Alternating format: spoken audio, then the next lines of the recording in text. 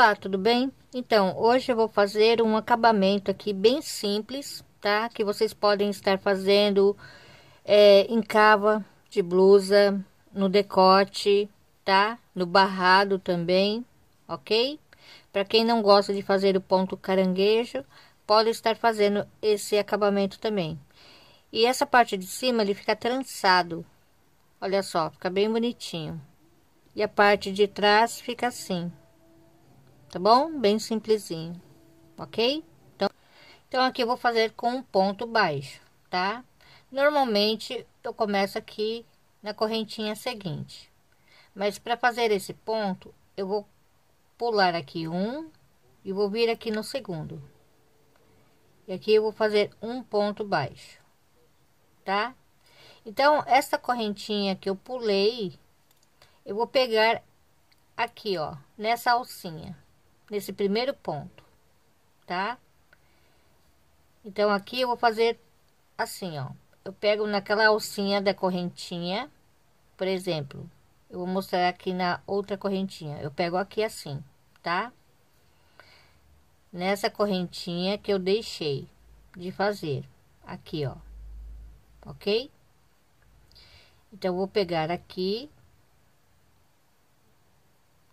ok? Puxo uma laçadinha e arremato, tá? Então, aqui no seguinte, vou fazer um ponto baixo, ok? E agora eu vou pegar nessa laçadinha aqui em cima, tá? Então, eu pego aqui na laçadinha aqui em cima, puxo e arremato.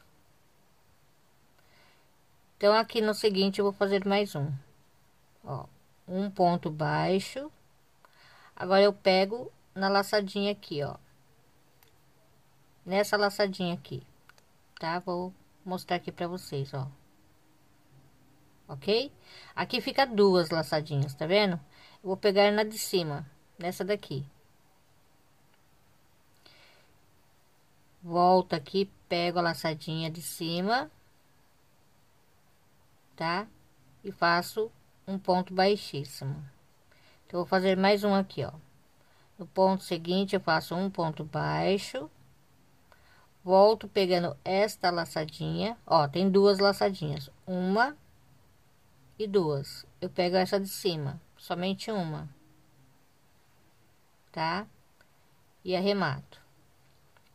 Novamente, ó, no ponto seguinte, eu faço um ponto baixo volto aqui pegando a laçadinha de cima. E arremato. Ok?